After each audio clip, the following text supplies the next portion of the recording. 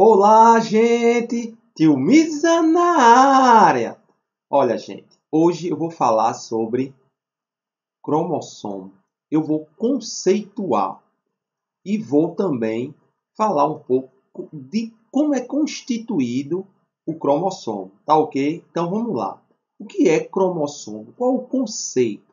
Olha, gente, são corpúsculos compactados que carregam a informação genética.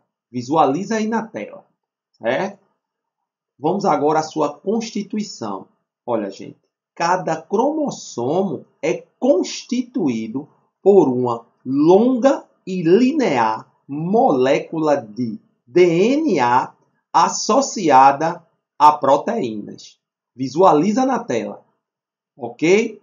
E para encerrar, vamos falar que os cromossomos são encontrados no núcleo das células eucarióticas e a sua quantidade varia em cada espécie. Tá ok, gente? Se inscreve no canal, dá teu misa like e até a próxima. Fui!